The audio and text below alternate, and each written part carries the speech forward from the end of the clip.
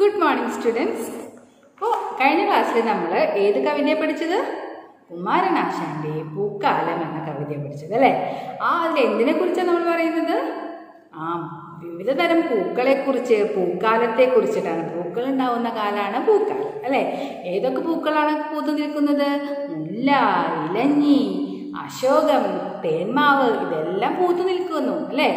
നോക്കൂ പൂക്കുന്നിതാ മുല്ല പൂക്കുന്നിലഞ്ഞി പൂക്കുന്നു തേന്മാവ് പൂക്കുന്ന ശോകം. വായിക്കുന്നു വേലിക്കു വർണങ്ങൾ പൂവാൽ ചോക്കുന്നു കാടന്തി മേഘങ്ങൾ പോലെ. അപ്പോൾ വിവിധ തരങ്ങളായ പൂക്കളതാ പൂത്തു നിൽക്കുന്നു. വേലിക്ക് വേലിമ വേലിയിൽ നിറച്ചെന്താണ് പലതരത്തിലുള്ള വർണങ്ങളുള്ള പൂക്കൾ ഇങ്ങനെ വിടർന്നു നിൽക്കുന്നു.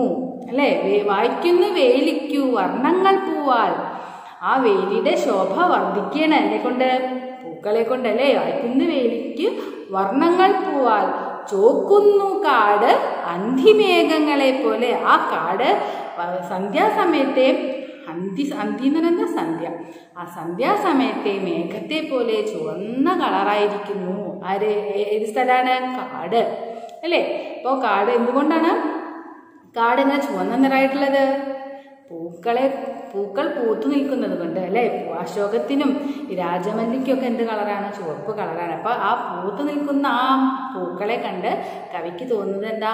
അന്തിമേഘങ്ങളാണോ കാട്ടിൽ? എന്നിങ്ങനെ തോന്നുന്നു ചോക്കുന്നു കാട് അന്തിമേഘങ്ങളെ പോലെ. ഇതുവരെയാണ് നമ്മൾ കഴിഞ്ഞ ക്ലാസ്സിൽ പഠിച്ചത്. നോക്കിക്കോളൂ കേട്ടോ അടുത്ത വരി. എല്ലാടവും പുഷ്പഗന്ധം പരത്തി മെല്ലെന്നു തെക്കുന്നു വീശുന്നു വായു. ഉല്ലാസമീ നീണ്ട കൂക്കൂരവത്താൽ എല്ലാവർക്കുമേകുന്നിതേ കോകിലങ്ങൾ. എന്ന് പറഞ്ഞെന്താ? എല്ലായിടവും പുഷ്പഗന്ധം പരത്തി മെല്ലെന്നു തെക്കുന്നു വീശുന്നു വായു എന്നെന്താ എല്ലാ എല്ലായിടവും പറഞ്ഞെന്താ? എല്ലായിടവും എല്ലാ സ്ഥലത്തും പുഷ്പഗന്ധം എന്ന് പറഞ്ഞെന്താ? പൂവിന്റെ ആ സുഗന്ധം നല്ല മണം അല്ലേ? ഗന്ധം എന്ന് പറഞ്ഞാൽ എന്താ മണം. പൂവിന്റെ ആ ഗന്ധം പരത്തിക്കൊണ്ട് മെല്ലെന്നു തെക്കുന്നു വീശുന്നു വായു മെല്ലെ. ആഞ്ഞു ശക്തിയിലല്ല കാറ്റ് വീശുന്നത്. ആ പൂവിന്റെ ഗന്ധം പേറിക്കൊണ്ട് മെല്ലെ തെക്ക് നിന്നിങ്ങനെ കാറ്റ് വീശുന്നു. വായു എന്ന് പറഞ്ഞാൽ എന്താണ്? കാറ്റ്. അപ്പം നമുക്ക് എന്താ പൂ? നമ്മുടെ വീട്ടിൽ മുല്ലയൊക്കെ പൂത്ത് നിന്നാൽ ഇലഞ്ഞൊക്കെ ഇതുപോലെ പൂത്ത് നിൽക്കും പൂത്താൽ ആ കാറ്റത്ത് ഇങ്ങനെ അതിന്റെ നല്ലൊരു മണം നമുക്ക് വരാറില്ലേ? നമുക്ക് തോന്നുന്നുണ്ടാവാറില്ലേ? തോന്നാറില്ലേ മണം? അതേപോലെ തന്നെയാണ് കാട്ടിലും വിവിധതരങ്ങളായ പൂക്കൾ പൂത്ത് നിൽക്കുമ്പോൾ എല്ലായിടും ആ പൂക്കളുടെ മണം അങ്ങനെ പരത്തിക്കൊണ്ടാണ് ആ കാറ്റ് ഇങ്ങനെ വീശുന്നത്. മനസ്സിലായോ? ഇന്നടുത്ത് വരും നോക്കൂ.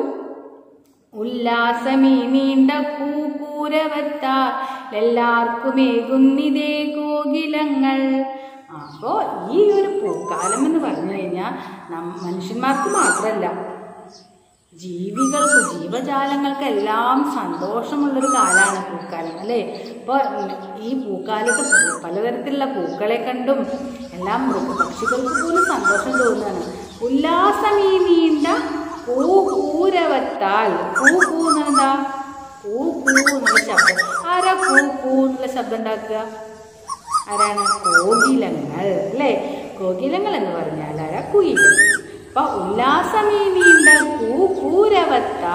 രവം എന്ന് പറഞ്ഞാൽ ശബ്ദം. ഈ കൂക്കൂ എന്നുള്ള ശബ്ദം കൊണ്ട് നമുക്ക് എല്ലാവർക്കും ഉല്ലാസം നൽകുന്നത് ആര്? കോകിലങ്ങൾ ഉല്ലാസമീ നീണ്ട കൂകൂരവത്താൽ കൂ നിങ്ങൾ കൂവില്ലേ? കൂക്കൂയില്ലേ ആ കേൾക്കുമ്പോൾ നമുക്ക് എന്താ മനസ്സിൽ തോന്നുക സന്തോഷം തോന്നില്ല. എന്ത് നല്ല മധുരമായിട്ടുള്ള ശബ്ദം കുയിലിന്റെ അപ്പം നമുക്കത് കേൾക്കുമ്പോൾ നമ്മുടെ മനസ്സിന് വളരെയധികം സന്തോഷം തോന്നും. എല്ലാവർക്കും ഉല്ലാസം നൽകും. എന്ത്? ഈ കുയിലിന്റെ കോകിലങ്ങളുടെ കൂ കൂ എന്നുള്ള ആ ശബ്ദം നമുക്ക് എല്ലാവർക്കും ഉല്ലാസം നൽകുന്നു. അതാണ് ഈ രണ്ട് പേരുടെ അർത്ഥം. ഉല്ലാസമീ നീണ്ട കൂരവത്താൽ എല്ലാവർക്കും ഏകുന്നിതേ കോകിലങ്ങൾ. മനസ്സിലായില്ലേ ആ നാല് വരിയുടെ അർത്ഥം? എന്താ മുമ്പത്തെ നാലാണ്ട് വരി ഏതാണ് നോക്കൂ? എല്ലായിടവും പുഷ്പത്തിന്റെ സുഗന്ധം പരത്തിക്കൊണ്ട് അതാ മെല്ലെ കാറ്റിങ്ങനെ വീശുന്നു. അത് കഴിഞ്ഞാലോ? കുയിലിന്റെ മനോഹരമായിട്ടുള്ള ആ കൂ കൂ എന്നുള്ള മധുരമായിട്ടുള്ള ശബ്ദം നമുക്ക് എല്ലാവർക്കും ഉല്ലാസം നൽകുന്നു. ഉല്ലാസമീ നീണ്ട കൂരവത്താൽ എല്ലാവർക്കും ഏകുന്നിതേ കോകിലങ്ങൾ. കോകിലങ്ങൾ എന്ന് പറഞ്ഞ കോകില. അപ്പോൾ ഇതാണ് നമ്മുടെ നാല് വരിയുടെ അർത്ഥം. ബാക്കി നമുക്ക് നെക്സ്റ്റ് ക്ലാസ്സിൽ എടുക്കാം. നോട്ട്സ് എല്ലാം ശ്രദ്ധിച്ച് എഴുതിയെടുക്കണം. ടെസ്റ്റ് പേപ്പർ എഴുതാനും നോക്കണം. അപ്പോൾ അടുത്ത ക്ലാസ്സിൽ നമുക്ക് കാണാം. നന്ദി നമസ്കാരം.